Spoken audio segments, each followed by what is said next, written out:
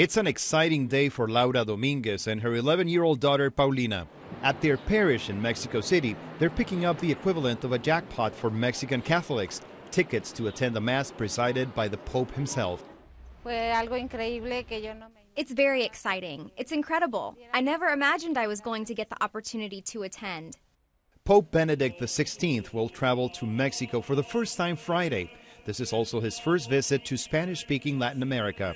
The country boasts the second largest population of Catholics in the world after Brazil, but Benedict's trip will likely be overshadowed by his deceased predecessor, Pope John Paul II. Barely a week before Benedict's arrival, an exhibit to honor John Paul opened in Mexico City. It was just this magnetic uh, energy that, that that you can you know feel whenever he, he was around really and and it was just it just transformed the people while he visited John Paul's shoes are indeed too big to fill. Mexico was the first country he visited in 1979, shortly after becoming Pope. He would honor the country with four more visits. Mexican Catholics call the Polish pontiff Mexico's Pope. But the spokesman of the Mexico City Archdiocese says it's just a matter of time before Mexican Catholics learn to love Benedict.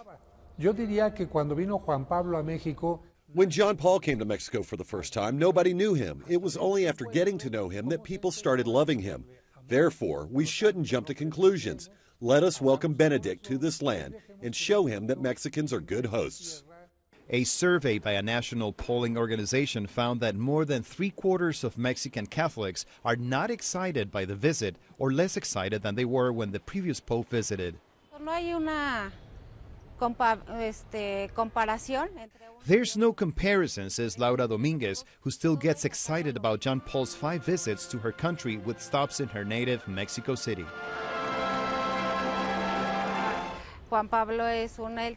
Pope John Paul loved being close to the people. I know there's a lot of conflict right now, but we don't like the fact that he's not coming to Mexico City. But I'm sure he's a generous man as well. There's hope for a renewal of affection in the new generation. Dominguez's 11 year old daughter says she's really looking forward to the Pope's Mass. No lo sé, es como. It's like watching my favorite person, a superhero, and almost like watching Christ in person. When Pope John Paul II first traveled to Mexico, he was 58 years old. Benedict will turn 85 next month. One place he will not visit that Pope John Paul did several times is Mexico City, home to a monument honoring Mexico's patron saint.